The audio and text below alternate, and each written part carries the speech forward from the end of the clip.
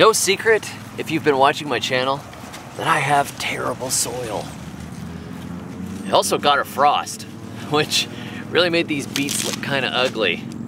We'll still get some beets out of here, but uh, the tops of them definitely got burned. You can't go from 80 degrees to, you know, 25 degrees in a day without the beets kind of going off time a bit.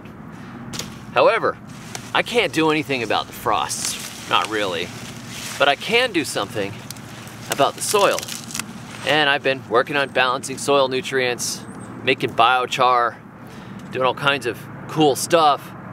But the thing that I really seem to always be lacking is humus. Humus is super important. And I'm gonna tell you why. This book by Sir Albert Howard, one of the fathers of modern organic agriculture. He writes, The effect of humus on the crop is nothing short of profound. The farmers and peasants who live in close touch with nature can tell by a glance at the crop whether or not the soil is rich in humus. The habit of the plant then develops something approaching personality. The foliage assumes a characteristic set. The leaves acquire the glow of health. The flowers develop depth of color. The minute morphological characters of the whole of the plant organs become clearer and sharper. Root development is profuse. The active roots exhibit not only turgidity, but bloom. The influence of humus on the plant is not confined to the outward appearance of the various organs. The quality of the produce is also affected. Seeds are better developed, and so yield better crops, and also provide livestock with a satisfaction not conferred by the produce of worn out land. The animals need less food if it comes from fertile soil. Vegetables and fruit grown on land rich in humus are always superior in quality, taste, and keeping power to those raised by other means. The quality of wines, other things being equal, follows the same rule. An agricultural testament, Sir Albert Howard, that was written over 80 years ago, and he observed what we have all observed, and that is soil that's rich in humus, that is compost, organic matter, is happy. When I got my soil tested here, it was less than 2% organic matter. And that's a function of geology in general. This soil eats humus. But today, I'm going to share some methods and we are going to work on that together. And you can see what I'm doing and maybe you'll get some ideas for your own garden.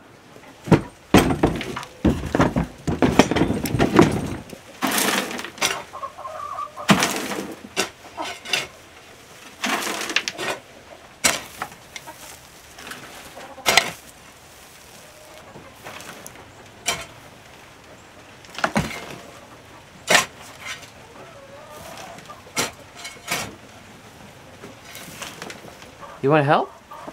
You want to help? Come on. One of my favorite things to do is to sift out compost from the chicken house.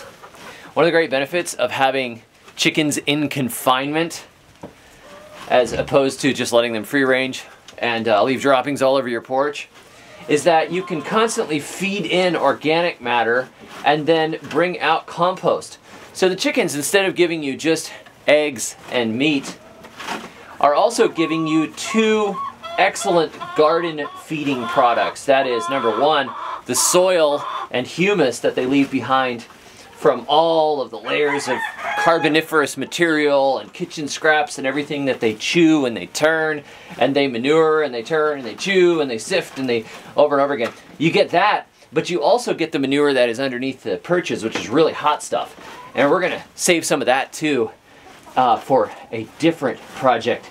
But at the moment, I can get right now literally a ton of compost out of this run because I haven't really sifted that much. I have both this area inside of the coop where they are a lot of the time, and then there is the run outside, which has a little more sand in it and probably a little less humus. And between those two, we've got, I'm sure, a ton of compost, which is huge. And if I had them just free ranging, not only would they get eaten by predators, they also wouldn't give me this great yield. If you look down here, you can see this is the stuff that was not, that doesn't sift through, right? So this is a little rough for the garden. This is still got a lot of carbon in it. So this goes back on the floor. And the rest that's underneath, this is garden gold. It's so light and fluffy. It's perfect for the garden. Full of humus. I'm gonna get some more of this in a minute, but before that, show you these perches right here. These are just saplings and branches that we cut down and put across. Chickens like to roost and they can pick where they want to roost. I've got thinner and thicker areas. Different birds like to be on different parts and they're not exactly right over each other because then the birds manure, the birds will drop manure on the lower birds and you don't want that. So they're staggered a little bit out of the wall.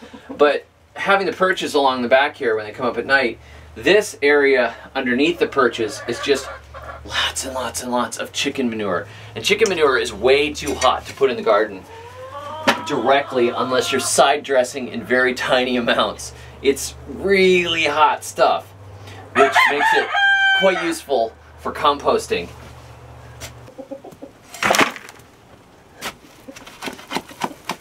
Oh, that slop. Oh, you can smell the ammonia. Ammonia, folks. Nitrogen. You smell ammonia, you've got nitrogen leaving into the air, and we would rather have that mixed into some carbon. This is just pure, sloppy chicken manure. This is really good stuff. Our chickens aren't actually completely penned up all the time. A lot of times when we're home, we'll let them free range, particularly this time of year when they're not too destructive in the garden. Like today, it's a little rainy. They can go out and go foraging through the woods, get extra minerals. And of course, those minerals that they get out of the woods then come back, and when they leave the droppings at night, those minerals are going to end up in our garden. So I, it's a benefit to free range them. It takes up less food. And I can't let them completely 100% free range or leave them open at night or that kind of thing. Some days are better than others, but they do get to go out and wander and get their exercise now and again. And then gather fertility for my garden as they do. We've got three game roosters right here that you can see that were given to us and they've not killed each other yet, which is surprising to me. But they grew up together in the same group. They don't fight very much. And we're hoping to mix in those genetics to the flock. But that doesn't really have anything to do with humus. It's just sort of interesting.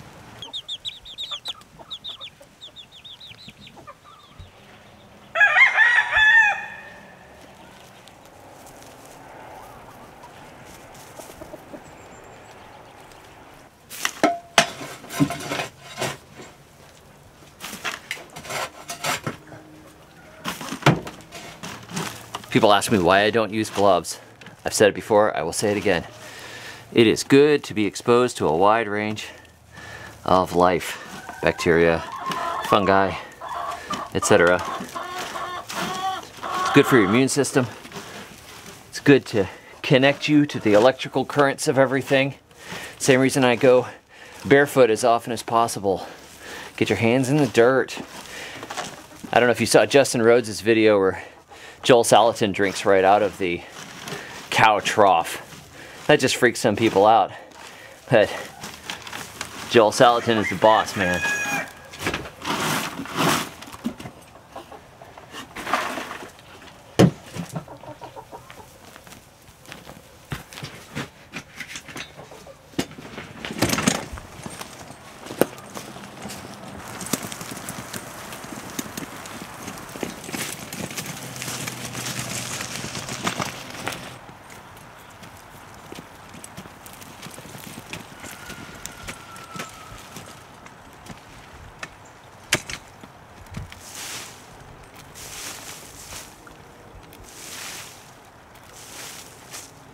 These grocery row gardens are no-till, or I guess you could say minimum till because occasionally we dig potatoes out of them and I rough an area up and plant something new. but they're not getting killed mechanically anymore, and I'm not really double digging them or forking them or anything. These are long-term permaculture inspired hedge type systems that I wrote a little booklet about it for anybody who wanted to try to do the experiment themselves and, and move along with it. We're looking for people that can try this in different climates. And so far we have people in Virginia, some people in the tropics, people in Australia, South Africa, and here I am in zone 8. But I want to keep this soil rich. This soil has biochar in it already, which sticks around a long time and acts similarly to humus, but it's not exactly the same. And I have put in alfalfa pellets and that sort of thing. But what I'm trying to do is close the humus loop. So what we can do through chop and drop and what we can do through pulling extra stuff out of here, feeding it to the chickens, letting the chickens turn it into this beautiful, rich humus, and then throwing it back on, we're creating a loop. When I was on uh, an interview with Ice Age Farmer, we were talking about the difficulty of integrating animals with your gardening. And one of the best ways I find I found, which we talked a little bit about, was having the chickens in a regular kind of a, a run area where you can basically concentrate their efforts down on building humus just like this. And so you could cycle the nutrients out of your garden the, and your kitchen scrap waste and all that stuff and then put it through the chickens and get it turned into this garden gold without having to figure out, you know, your layers of carbon and nitrogen and all that. We got a little bit of soil in here. We got who knows what. But man, it grows some pretty plants. So right now, in this off season, we're still building humus over there. And we'll feed these gardens up. And when I start planting this in about a month with the spring crops, they'll be full of life. Tons of soil fertility in them. And then by the time they burn out again at the end of the season, the chickens have made another load for me. Another ton of humus. Another way to build humus is the slow way, like nature does it. She gets a huge wood chipper and shreds all of the trees that fall down and then spreads a foot deep of wood chips across the ground every fall, every hurricane. Nature was designed by God to be a gigantic wood chipper. I'm kidding, but nature does drop stuff on the ground, right? Leaves fall, sticks fall. It's not quite so convenient or on such a massive scale as we do it with wood chippers, but the concept is kind of the same. If you deep mulch, what happens is, is that slowly breaks down from the surface. It doesn't rob all of the nitrogen out of the ground like if you till carbon under, but it rots down bit by bit and the soil organisms work it in and the worms start to carry it down and it gets chewed up and beetles and termites and everything work on it and you get beautiful long-term slow release humus a slow release food for the garden and the other benefits of mulch obviously is they feed the fungi they hold in it holds in moisture keeps the roots cool during hot summers which is really important for fruit trees in Alabama a, a bare ground around the fruit trees means that the top roots get burned by the hot sun that doesn't happen when you mulch around them. So I like to mulch around all of my fruit trees and give them a good layer of mulch. And then that is a slow release humus into the ground. And when you have really bad soil, it's hard to go wrong with a deep layer of mulch to just make that spongy, beautiful humus layer rotting down slowly over time. And if you can get a source of wood chips, that's excellent. But you can also mow your grass and throw it out there. You can also rake up fall leaves and throw it out there. The idea is, is just to put a nice layer on top of the ground that will slowly rot down and build humus, keeping the ground cool and spongy and feeding the fungi and making your trees so happy. I have seen firsthand how trees respond to mulch. When they haven't been mulched and then you mulch them heavily the next year, they just explode into growth and it's beautiful and it's amazing and, and startling that something so simple as dropping a bunch of mulch on the ground can make such a profound impact on plants. And that, like Sir Albert Howard would say, is the power of humus.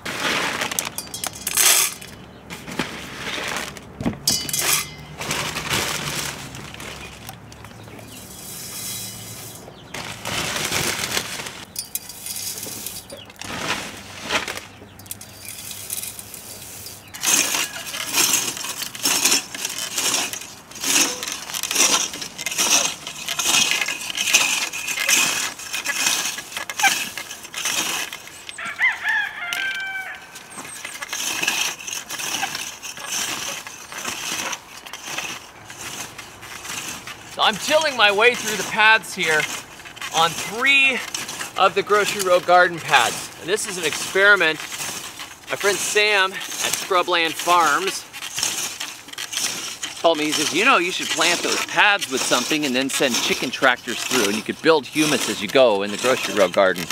I said, oh, I like that idea. So we're gonna try it.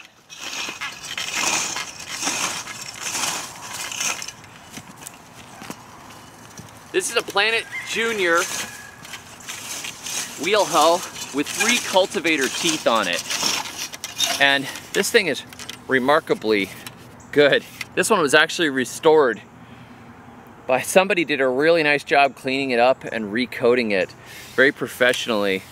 But this is an antique.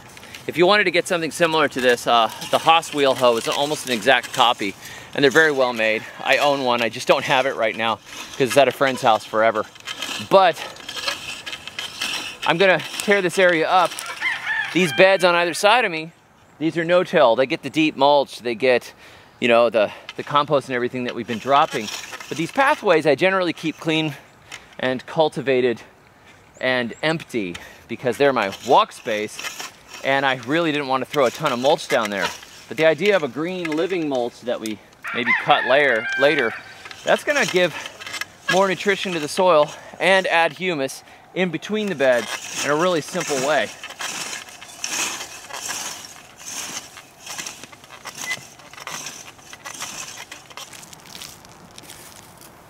These are a mixture of winter rye grass and rye grain and wheat, all of which don't mind the cold and should do just fine. It's a little late to plant them, but we're not trying to get a harvest out of them. We're just making life appear. We're making humus like a boss. And I've also got something else I'm gonna put in here. Miracle-Gro! no, just kidding.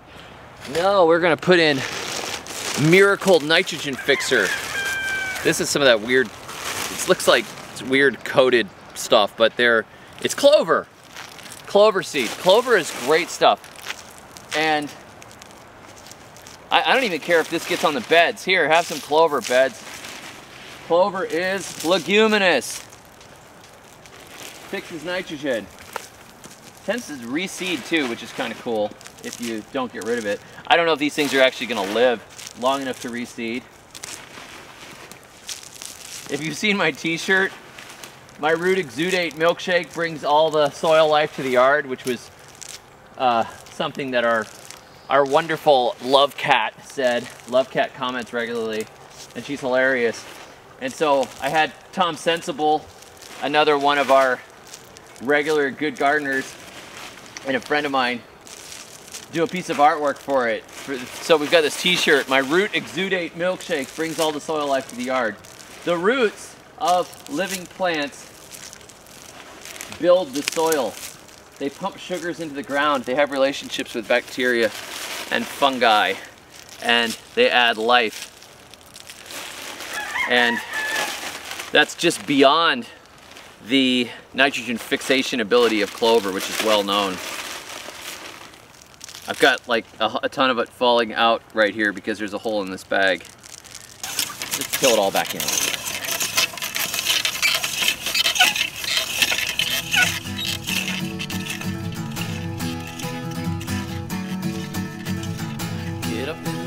Time, making biscuits.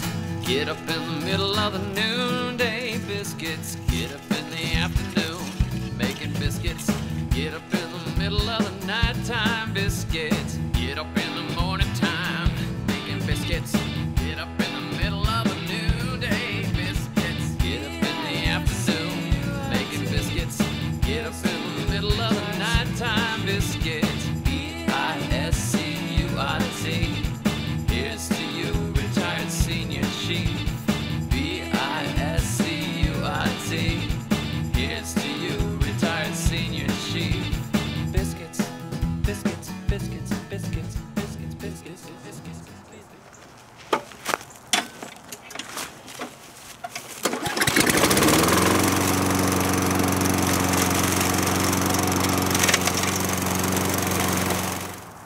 Lawnmower is another good composting tool. You can just take the grass clippings. I I can't stand those mulching lawnmowers. I like the bagging lawnmowers. So you can get the grass clippings. You take your grass clippings and you throw them around something that you want to feed and they break down really nicely, pretty quickly. And they feed the ground back again. So you can take the fertility and move it over there. Who cares about the grass? Take it and feed it to your fruit trees. Now I'm right here in my muscadine vineyard, which sounds really hoity-toity. Muscadine vineyard. I'm here in my muscadine vineyard and I'm giving this these grass clippings to the muscadines for a reason. And that is because the grass here is absolutely crazy weedy. If I take this and throw it into my vegetable garden or mulch the grocery row gardens, I'm gonna be bringing in weeds. These guys, I don't care that much they'll they'll get through it. It's not a big deal, and I will probably end up mulching over it with something else later. But you got to be careful introducing this. I don't know if you guys have read The War on Weeds by John Moody. John Moody wrote this book, and Good Books Publishing published it. The Winning the War on Weeds by John Moody, a no-till gardening handbook. He talks about how to how to reuse a lot of your your wastes and how to find mulch materials and that sort of thing. If you don't have Winning the War on Weeds. It's really, really good. As you can tell, I'm kind of a book junkie.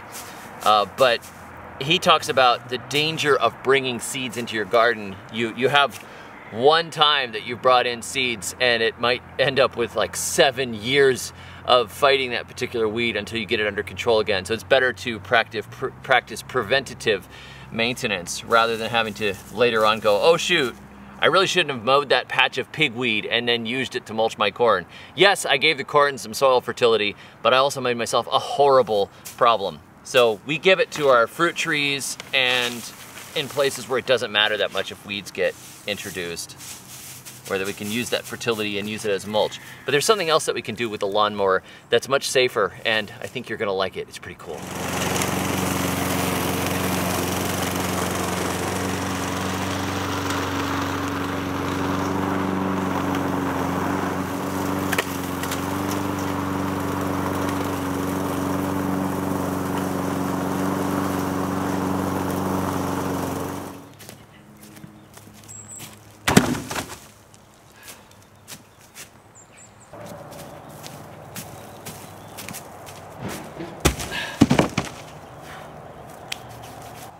Stump of that sick cherry tree that uh, Randall from Floribama Homestead and I cut down. And at the base of that tree was where we put our compost pile when we first moved into this place. We took a ring of wire and put in a compost pile and just dumped it all at the base of the tree. And then dogs got into it over and over and over again.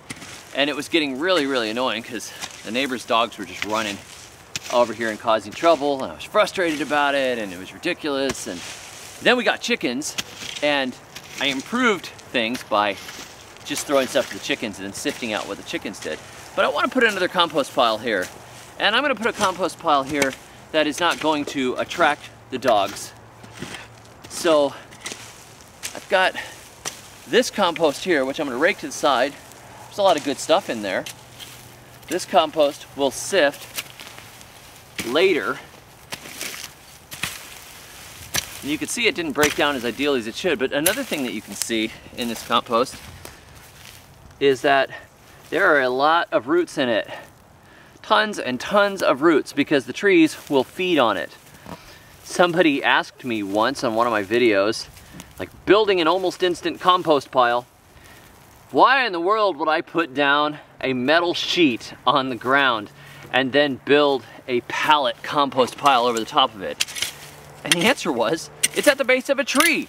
People say, well, but the worms, the worms and the funguses and the beetles, and they're supposed to move up from the ground and they're supposed to get in there and chew it. David the Good, you're stupid.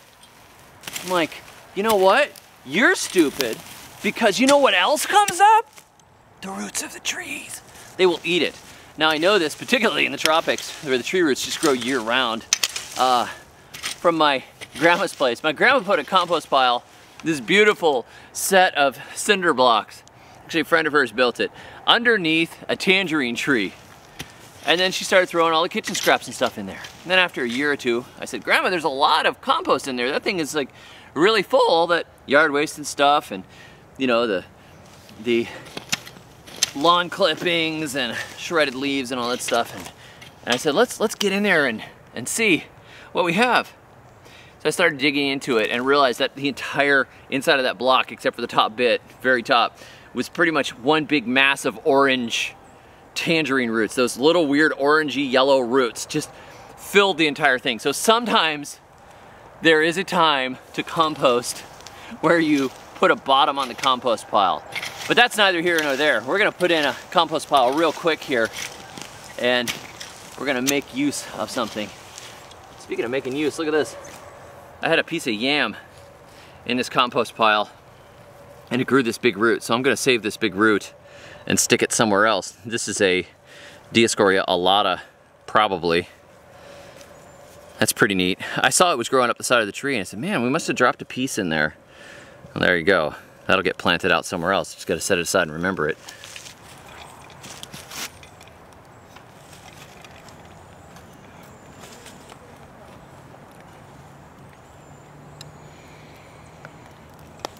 Figure it out yet? Yep. I feel like we just killed a turtle.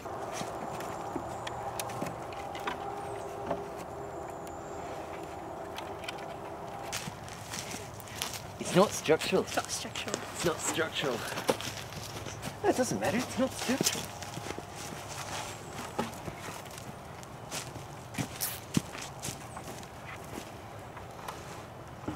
Oh, that's really You already had it. I did, yep. Nice.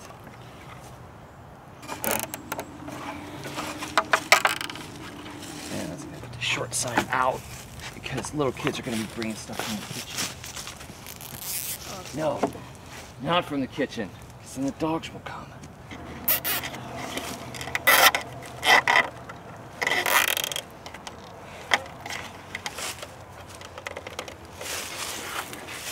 Yeah, that's good enough.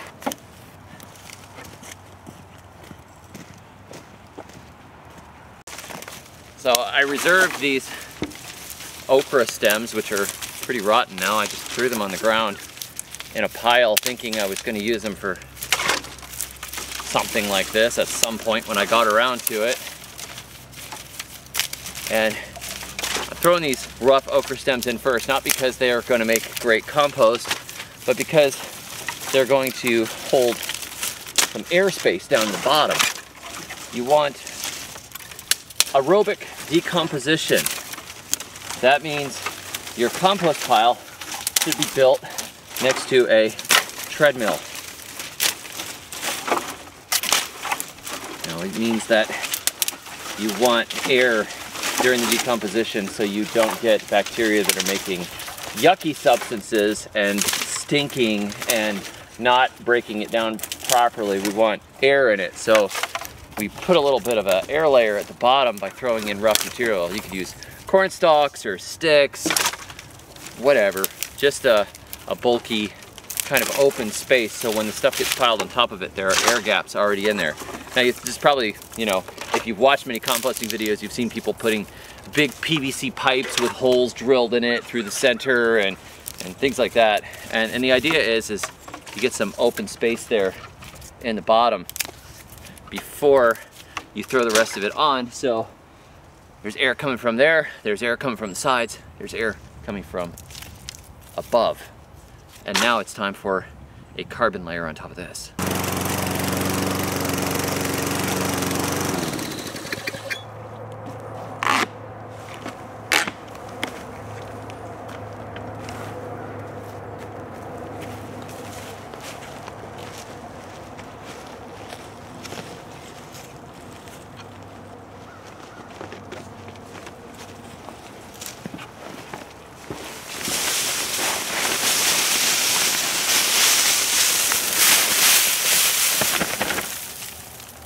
Need to do that about five more times.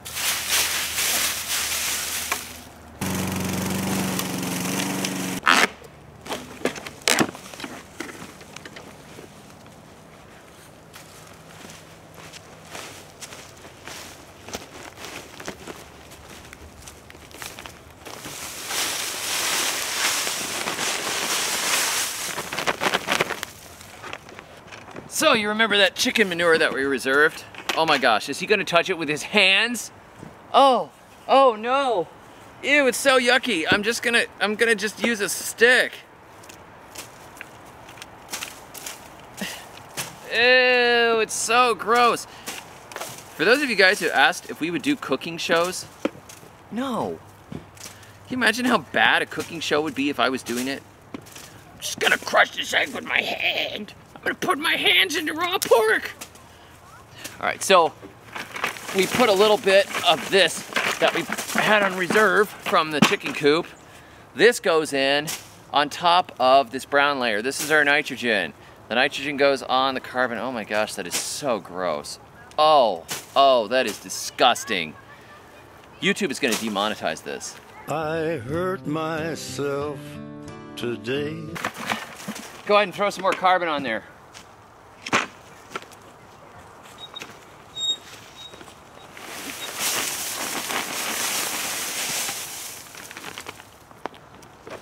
And then last most important bit here that you don't want to miss is getting water in it because without water, you don't really have life. A dry compost pile is a compost pile that is not functioning. It's not going to do what you think and it actually takes it takes a lot of water to really do this well. And so as you make the compost pile, don't think like you're gonna get to the top of the compost pile and then you're just gonna throw a little water on it with a watering can or something. No, you need to put gallons of water onto your compost pile as you build it. Layer to layer to layer, so everything is completely saturated. Otherwise, you get these dry spots all the way through.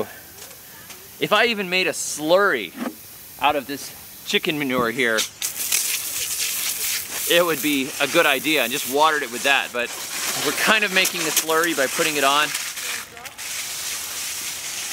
and watering it through. But you want lots and lots and lots and lots and lots of water and you want to get that nitrogen and carbon going layer by layer.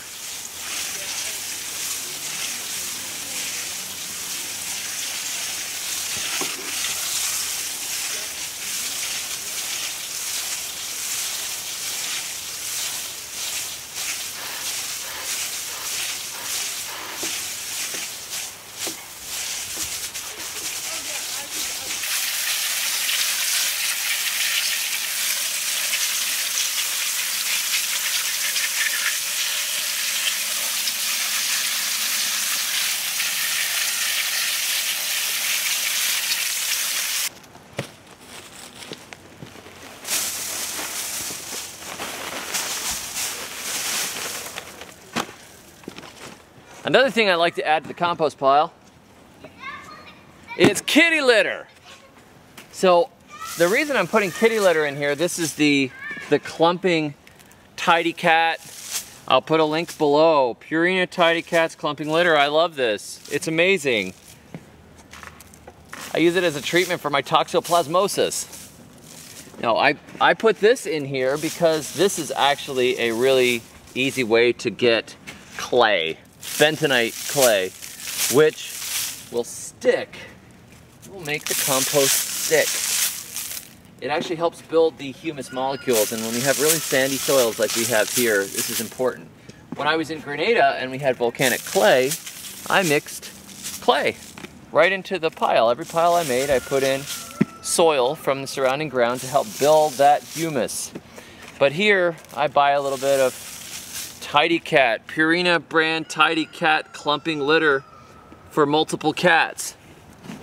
I don't know why it's for multiple cats. I, I don't. I don't know, but it doesn't matter. This actually will help bind that humus up. And another thing that I put in here is a little bit of char. CJ thought that this was charcoal that he made for his uh, his blacksmith forge, but I actually stole it when he wasn't looking. And this char is like, this is long term, so I'm actually charging, charging biochar, helping the exchange capacity of my soil. This is actually acting also as a nutrient sink. It will hold on to some of the minerals that are coming through this pile and make it beautiful and make it last a lot longer. And then again, we just go back and we water it and we water it and we water it. We'll melt the tidy cat and we'll dampen this entire layer of carboniferous shredded leaves. We're not gonna get a really fast pile like this. We do have our carbon and nitrogen, but I'll tell you, these these oak leaves take a long time to break down. Some leaves like maple or sweet gum, they're really nice and fast. They break down quickly. These are slow at breaking down, but it doesn't really matter because we have compost going in a bunch of different places in a bunch of different ways. And eventually we will have some really nice, stable, fungally rich material here. If we had grass clippings, we could put them in here and rot that down. If we had you know, waste from the gardens. I'm just not going to put the kitchen stuff in there. That all goes to the chickens now because we had those dog issues. This is going to be a vermin-free pile because we're just using leafy materials and the chicken manure, which doesn't seem to attract much of anything. And just layer after layer after layer, some carbon, some nitrogen, some carbon, some nitrogen, some tidy cat. Now you don't have to add tidy cat and um, biochar but I highly recommend if you have sandy soil to consider both of those. If you want that really nice long-term humus, particularly someplace like South Florida where it's really, really sandy, if you can get some clay from anywhere, even baseball diamond clay, if you have friends that are visiting you from North Carolina, have them go out in their yard, dig a couple of buckets of that Appalachian red clay, make a slurry out of it, water your compost pile with it and make it stick. You're gonna get those minerals, you're gonna get that additional tilth, you're gonna get that higher exchange capacity, and you're gonna get long-term, persistent humus. This entire process didn't take very long to build a pile. What will take long is shredding these leaves. If we didn't want to do that, if we didn't want to go around the lawnmower and run over all the shredded leaves, we could just go and you know, take the leaves and rake them up and throw them in there, but they take longer. There's more surface area, it breaks down faster.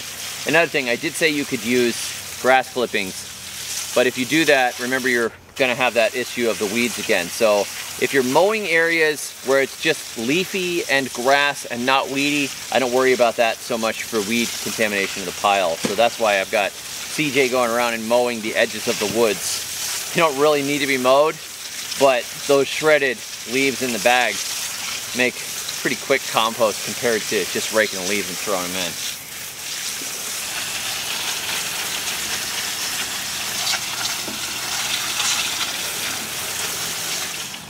You don't even have to go all the way to the level of, you know, making a enclosure of wire or pallets. You can just make a pile in your gardens. Check this out. I make piles out in the garden regularly and I just take material that are, you know, that we're harvesting and whatever happens to be around. We had a bunch of cover crops and we had some leaves and garden wastes and I just piled it up all in this area over the summer. And now, as we're coming into the next year, this is all beautiful humus.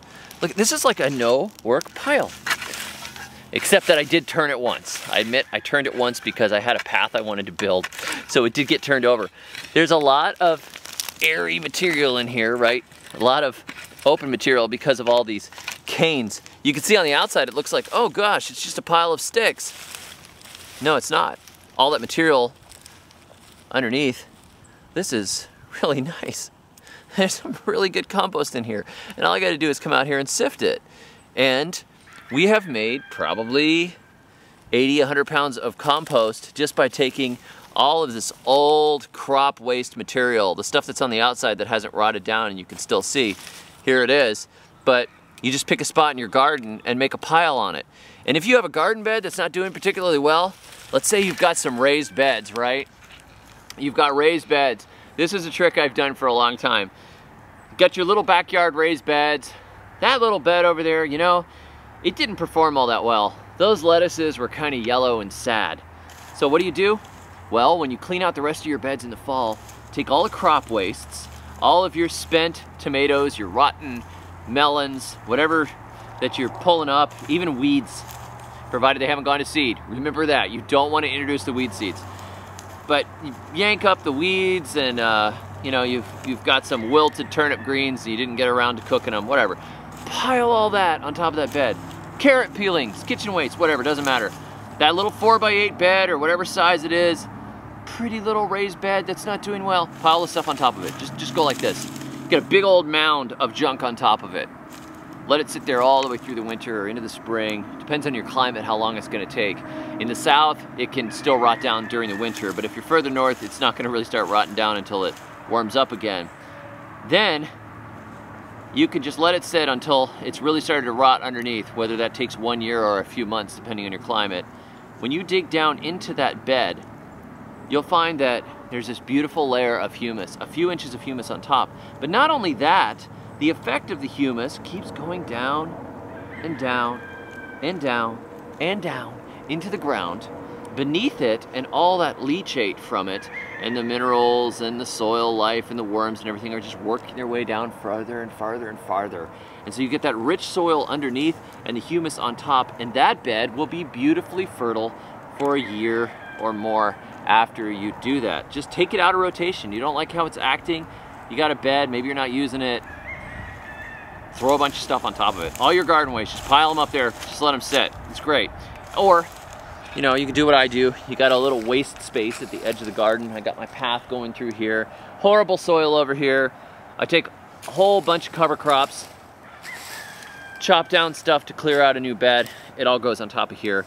And now we just got to come out here and sift this in a month or two, put it back into the garden beds. All that free compost, no work compost, and no infrastructure compost. Super easy, just a pile. Now you might ask, oh, why not just buy some compost? Why not just get a load of manure? Why not go rake up straw and hay or something like that? Or put hay bales out and, and treat them? Well, the, the problem is, is that there's a lot of persistent herbicides and contaminants that have gotten into the big agricultural stream. I had about $1,000 worth of plants destroyed one year with a load of contaminated manure from a field that had been sprayed with Grazon. The cows eat the grass, the grass does fine, the cows do fine, apparently, but then the manure is contaminated with this persistent molecule which will twist up and destroy all the growth in your garden for a year or two or more. And I lost a lot of blackberries and some mulberries and pecans and multiple garden beds. An entire year uh, was lost in part of the garden because I bought in composted manure and it destroyed it. And other people have had problems with straw bales, with rotten hay, with loads of horse manure and all kinds of things because this stuff is getting sprayed on grass crops. So your grains and your hay fields are getting sprayed with this stuff and it's persistent and it's nasty. Now there's other options like, you know, cotton gin trash around here. They call it gin trash and it's the wastes of the cotton. But they spray the cotton fields with a lot of weird stuff too and I'm not completely convinced that that's a good idea. I may experiment with it and use some, but I don't really know what kind of pesticides might be in it or what herbicides might be in it. And do I really want that in my food? And no, I don't really. So we try to work with what we have around here and then bring in things that we know are safe. Like we'll throw some seaweed in or some kelp meal, you know, bentonite, stuff like that to, to kind of boost the minerals. And we try to boost the minerals of our crops by using the, the mix that Steve Solomon made for me, which I can put a link to below this video. Solomon's Gold mix, which is boosting the minerals. Doesn't give us humus, but what we do get is the growth of those plants containing minerals which then get cycled into the humus and then get returned back to the soil with the humus. So we're trying to do things as simply as possible, close the nutrient loop between animals and plants, grow cover crops, overseed, green manure, make compost piles, use the leaves that are falling, use the grass, use all this stuff to build humus because humus really is the life of the soil and if you don't have enough of it, things aren't going to be happy. One of the reasons I wrote Compost Everything, The Good Guide to Extreme Composting, was because of that experience I had with poisoned manure coming onto the property. How can we get all the humus we need without poisoning ourselves in a really messed up world where big ag and all these, these poisons are just coming in from everywhere? And, you know, we had to come up with ways to stretch the compost. We even, uh, we, we designed composting toilet systems and we created um, cover crop mixes and played around with worm bins and with making compost teas and all kinds of other stuff. And then I wrote about how all these experiments worked out, what worked, what didn't, and how it worked. And it became that book which has been very popular and I appreciate those of you who have left nice reviews of the book. I wrote it uh, from my experience. I thought well other people need to read this uh, this is this is going to be really useful and I, I'm happy to make the mistakes so you don't have to and then write it down in the book and sell the book and make income so I can make more mistakes with the money that I gain from that income. Thanks for joining me. Catch y'all next time. And until then, may your thumbs always be green.